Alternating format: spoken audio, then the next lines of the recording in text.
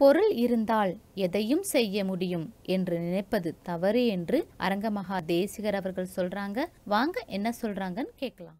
பொருள் இருந்தால் எதையும் சாதிக்க முடியாது. நினைக்காதே நிச்சயம் ஒன்று ஏமாந்து போவேன் உனக்கு தெரியும் இப்போது இளமை இருக்குது துடிப்பு இருக்கு என்று நினைக்கி ஏமாந்து போவே. பிறகு உன் வச்சு நசுக்குனான்னா உன்னால் தலை தூக்க முடியாது. கிட்ட நெருங்க முடியாத அளவுக்கு நாரி போகும் உடம்பு கைகள் இழுத்துக்கும். இப்படி அச்சுறுத்துவது நல்லதுன்னு நினைக்கிறேன். இதான் நல்ல வழிதனை அப்ப நல்ல வழிதனை நாடு. சரி ஆசானி கேட்கிறான். எனக்கு நல்லது தீமை தெரியலையே ஐயா.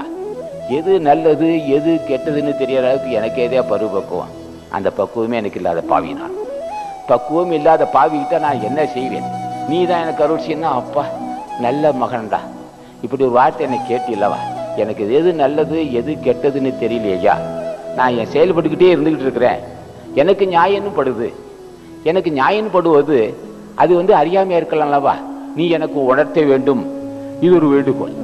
அப்ப எது நல்லது கெட்டதுன்னு நீ உணர்த்தினால்தான் தெரியும். இல்லைன்னா தெரியாது. முன் செய்த பாவியை நான் அந்த பாவிக்கு தெரியவில்லை. நான் என்ன பாவம் செய்தவனு தெரியவில்லை. புரியவில்லை எனக்கு. நீ எனக்கு உணர்த்த வேணும்னு கேட்கணும். மனிதன் கடத்துவதற்குரிய மார்க்கம் இப்போ பேசிட்டு இருக்கலாம் அப்போ நல்ல வழிதனை நாடு. ஏன்? கடைசி வரையிலும் நல்ல வழி ரெண்டு வகை உண்டு. ஒன்று இல்லறத்தை செம்மையாக நடத்தலாம். நோய் நொடி இல்லாது இல்லறத்தை நீடி ஆயுள் பெற்று நல்ல பிள்ளைகளுக்கு கல்வி நல்ல பிள்ளைகளுக்கு உத்தியோகம் நல்ல திருமணம் அமைதியான வாழ்க்கை நல்ல சுற்றுப்புற சூழ்நிலை நல்ல நட்பு இதெல்லாம் ஒரு இது ஒரு வழி.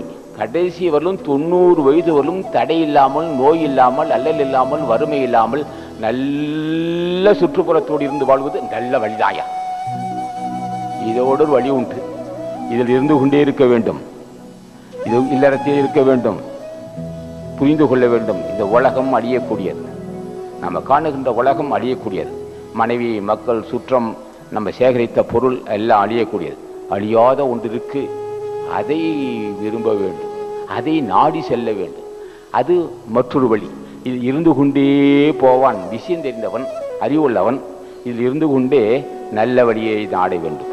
அது முடிவு முற்றில முடிவு மரணமில்லா பெறுவாள் இனி பெறவாத தன்மை அடைவதற்கு ஒரு மார்க்கம். இந்த வழி இல்லாமல் அந்த வழி போக முடியாது. அப்ப அந்த மார்க்கம் அடையணும் என்றால் செம்மையாக இல்லை நடத்த வேண்டும் இனிமையாக நடந்து கொள்ள வேண்டும் புலால் உண்ணாது இருக்க வேண்டும் எவ்வுயிருக்கு இடையூறு செய்யாது இருக்க வேண்டும் வஞ்சனை இல்லாது வாழ வேண்டும் அதற்கு பிறகு உருகி தியானம் செய்ய வேண்டும் செய்து ஆசான் ஆசியை பெற்றுக் கொண்டு அடியன் மரணமில்லா பெருவாழ் பெறவன் கேட்கணும். அது அதுதான் நல்ல வழி. இந்த வழியின் இந்த படி இது இதுல போய் தான் அதுல போக முடியும். இல்லை என்றால் இது இல்லாமல் முடியாது.